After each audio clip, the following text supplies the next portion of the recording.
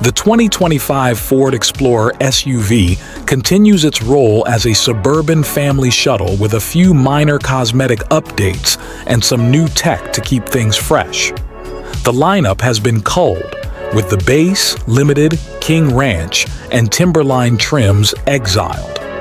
Rumor is a new, more rugged off-road oriented version is on the way to fill the void left by the departed Timberline. Both of the Explorer's powertrains, a turbocharged four-cylinder and a twin-turbo V6, each with a 10-speed automatic transmission, remain in place, as does the choice of rear or all-wheel drive. The Explorer's strong point is its family-friendly interior and third-row functionality. While that back row is not as comfortable as in some rivals, just knowing that it's there for when you need it buys some peace of mind. Fold it down, and it reveals a reasonable amount of cargo space. The competition in the mid-size SUV space is intense, though, and the Explorer is now facing off against a legion of highly talented rivals, including the Hyundai Palisade, Kia Telluride, Jeep Grand Cherokee L, and Toyota Grand Highlander, many of which offer more contemporary styling and overall refinement. The lineup has been reduced to just four trims, the base active, ST line, ST, and Platinum. The front fascia is mildly reworked with a new grille, headlamps, and lower air inlets, while the rear gets new tail lamps. Platinum, ST, and ST line buyers can spec a new black painted roof option, and more significantly, can for the first time add the BlueCruise hands-free driving feature. Interior updates are focused on comfort and upgraded materials and incorporate new soft-touch surfaces on the center console and door panels and new color schemes. The 2025 Explorer is the first Ford to implement the Ford Digital Experience, a fancy name for its new software system that is designed to easily integrate a user's favorite apps and provide native streaming and internet browsing while parked. The price of the 2025 Ford Explorer starts at $41.22 and goes up to $56.80 depending on the trim and options. With the mid-level limited model gone for 2025, we think the ST line makes the most sense. It has the sporty cosmetic features of the ST and keeps the standard 300 HP turbo four-cylinder, but it's also nearly 11K less expensive. It also rolls on standard 20-inch painted alloy wheels. The Active has 18S. Tows the same 5,000 pounds as the V6-equipped Explorers, and opens the door to the optional BlueCruise and black painted roof, which aren't available on the base Active. It also includes a 12-speaker Bang & Olufsen audio system, a flat-bottom ST steering wheel, heated second-row seats, and power folding mirrors. We'd also add all-wheel drive for $2,000. The base active, ST line, and Platinum trims come with a turbocharged 2.3-liter four-cylinder engine rated for 300 horsepower and 310 pound-feet of torque. The ST is powered by a turbocharged 3.0-liter V6 rated at 400 horsepower and 415 pound-feet. All power figures are dependent on premium fuel. A 10-speed automatic transmission and rear-wheel drive are standard, but all-wheel drive is available. Ride and handling are composed and predictable, but drivers looking for a more engaging experience will want the Explorer ST, as its extra power and stiffer suspension make it a bona fide performance SUV. When properly equipped, the Explorer can tow up to 5,000 pounds.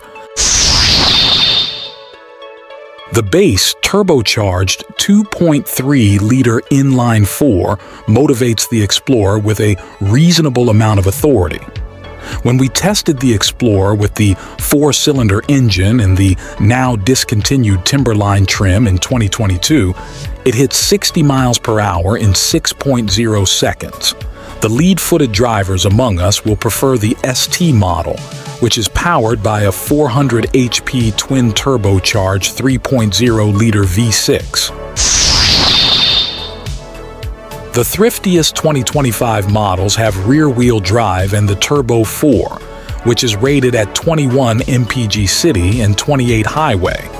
All-wheel drive drops both figures by 1 mpg. With the twin-turbo V6, the Explorer is rated at up to 18 mpg city and 26 highway with rear-wheel drive and 18 mpg city and 24 highway with all-wheel drive.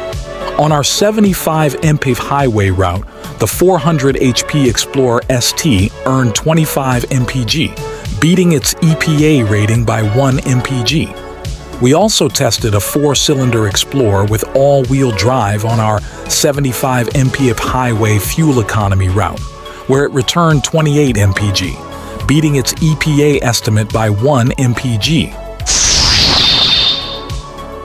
For 2025, the Ford Explorer gets a bolder appearance and a more assertive stance. The front end is restyled with some trim-specific elements setting each model apart, but the grille is larger and the all-LED headlamps are sleeker. The air curtains are lower and wider than before. At the back, the tailgate is updated and looks much more modern. The LED tail lamps now extend from the corners and into the middle of the tailgate, where the Explorer wording is debossed above the number plate. A power liftgate is standard across the range. Other than model-specific badging, there are unique elements to each trim. The Platinum has a unique wing design, satin chrome accents, and an ebony grille. The ST and ST line both get a gloss black honeycomb grille with black mesh inserts, but the ST's red badging is evident. The ST line can be equipped with a special edition appearance package to help it look as sporty as the ST, but without the performance gains. The base active model has a sawtooth design with a black mesh grille and chrome bars. Wheel sizes start at 18 inches on the active, while the ST line and Platinum get 20-inch wheels in unique designs. The ST has 21-inch wheels as standard, but a range of 20 and 21-inch wheels in various finishes is available across the lineup. As for exterior colors on the Ford Explorer, 2025 brings a new extra cost hue for ST, ST line, and active trims called Vapor Blue Metallic. Other than Star White Metallic and Rapid Red Metallic tinted clear coat, all other colors will be free and these include Agate Black, Carbonized Gray, and Iconic Silver. Some trims don't have access to the entire palette, though. There's a new black painted roof option available on Platinum, ST line, and ST models. The Explorer's interior design has generally favored function over form, but its comfortable cabin gets a boost for 2025 with some new interior color schemes and the incorporation of more soft-touch materials on the center console, door panels, and dashboard. A redesigned dashboard is shaped to provide front passengers with more space. Getting into the standard third row is fairly easy thanks to a mechanism that moves the second row seat out of the way at the touch of a button. Once back there, however, taller kids and adults will find that the seat is too close to the floor to be comfortable. Rivals such as the Chevrolet Traverse and Volkswagen Atlas provide more comfort in the third row. We managed to fit four carry-on suitcases behind the Ford's third row, and we fit a total of 31 carry-ons with both back rows folded flat. A 13.2-inch LCD touchscreen infotainment system is standard. New standard software dubbed the Ford Digital Experience allows drivers to access apps and services from Google and Amazon, as well as with Apple CarPlay and Android Auto through compatible devices. With the vehicle parked, it allows users to stream videos from YouTube and other providers, browse the internet, and play games via Google Play. There are also eight USB ports, including two for third-row passengers and three 12-volt power sockets. A 12-speaker Bang & Olufsen stereo is standard on all but the base Active Explorer. Ford outfits every Explorer with a host of standard driver assistance technology and offers upgrades such as self-parking assist.